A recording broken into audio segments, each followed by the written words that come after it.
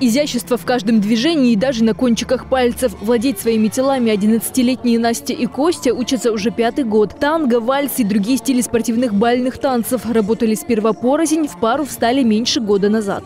И как вам? Хорошо. Хорошо. Хорошо? Бывает, бесите друг друга. Да, да, очень часто. Как вы ходите из таких ситуаций? Ну, просто танцуем, как-то все находится общий язык.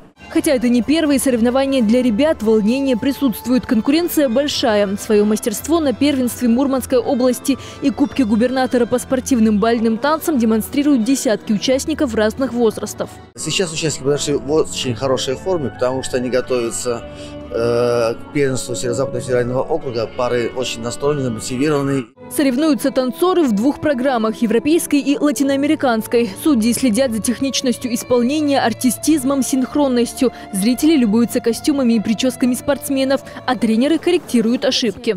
Хочется, чтобы пара показала свое мастерство на максимум. Э, Они волнуются, тоже их нужно успокоить в какой-то момент.